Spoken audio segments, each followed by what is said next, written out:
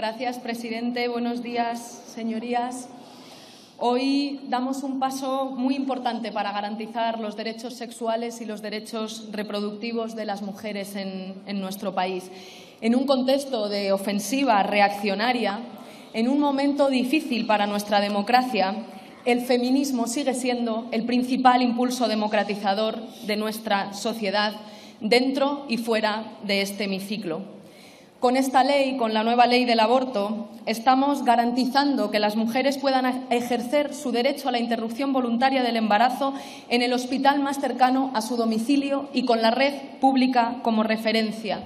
Recuperamos, como han dicho muchas de sus señorías, el derecho de las mujeres de 16 a 18 años a decidir sobre sus propios cuerpos y afirmamos además que el Estado reconoce y respeta la autonomía de las mujeres para decidir, que no dudamos de sus decisiones.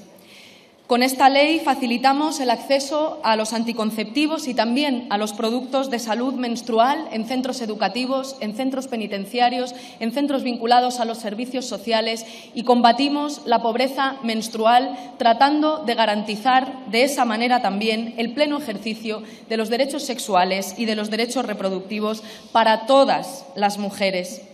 Reconocemos también la salud menstrual como parte del derecho a la salud y combatimos el estigma y el silencio. Apostamos por el derecho, por el derecho a la educación sexual como un derecho fundamental de los niños y de las niñas de nuestro país para ser más libres y felices.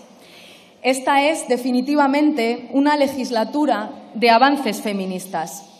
Avances como esta nueva ley del aborto o como la ley de garantía integral de la libertad sexual son los que permiten que ejerzamos la libertad sobre nuestros cuerpos, que el Estado reconozca la ciudadanía plena de más de la mitad de la población que somos las mujeres.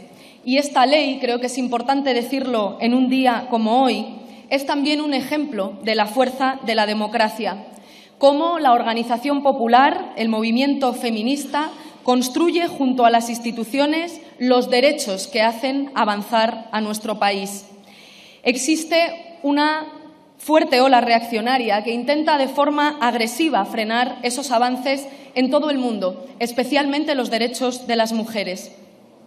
Y quieren hacernos dudar de nuestra fuerza colectiva, de nosotras mismas, para que no sigamos adelante.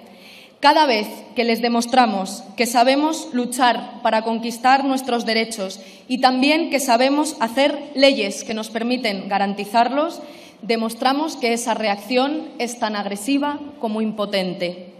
Hay, de hecho, quienes se están dando cuenta en estos días de que la función del Poder Legislativo es legislar en estricto cumplimiento de la voluntad popular de nuestros y nuestras compatriotas.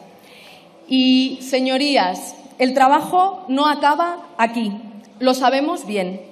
Ahora debemos acompañar el proceso de tramitación de esta ley hasta que llegue al Boletín Oficial del Estado, pero sobre todo debemos acompañar el proceso de implementación de esta ley para que sea una realidad en cada rincón de nuestro país.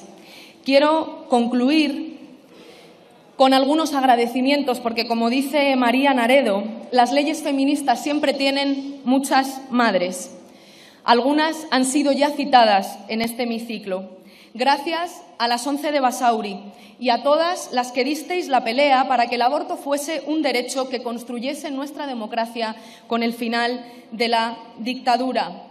Gracias, Justa Montero, y gracias, Begoña San José, vosotras y otras muchas compañeras, desde las calles, desde las asambleas, nos habéis enseñado la importancia de los derechos sexuales y de los derechos reproductivos para garantizar la ciudadanía plena de todas nosotras, pero sobre todo nos habéis enseñado a luchar hasta conquistar nuestros derechos. Gracias. Gracias también a Viviana ha ido la primera ministra de Igualdad de la historia de la democracia en España y al gobierno socialista del presidente Zapatero por la ley del año 2010. Sin ese paso, este paso tampoco existiría. Gracias al Tren de la Libertad, a la Comisión del 8M, a las asambleas feministas que con su organización popular lograron parar la ofensiva reaccionaria del Partido Popular y llegaron a tumbar al ministro que representó esa ofensiva reaccionaria, al ministro Gallardón. Gracias a todas Gracias a todas las mujeres que desde el periodismo, querida Noemí, desde la cultura o desde la justicia, desde cada rincón de nuestra sociedad, han defendido los derechos sexuales y los derechos reproductivos, han dado argumentos, han dado datos y han combatido la culpa, la vergüenza, el estigma y la soledad, muchas veces asociada a estos derechos y a su ejercicio. Gracias también al Instituto de las Mujeres, a todas sus funcionarias, muchas veces maltratadas, a su directora, Tony Morillas, y al proceso participativo de más de un año y a todas las entidades y colectivos, organizaciones de la sociedad civil que han hecho posible la redacción de esta ley. Gracias también al equipo del Ministerio de Igualdad al completo por ser muy conscientes de para qué estamos aquí. Estamos aquí para rendir cuentas y para hacer realidad lo que el movimiento feminista mandata, porque somos muy conscientes de que las feministas y el movimiento feminista es el principal impulso democratizador que nuestro país tiene para que todos, todas y todes podamos vivir mejor.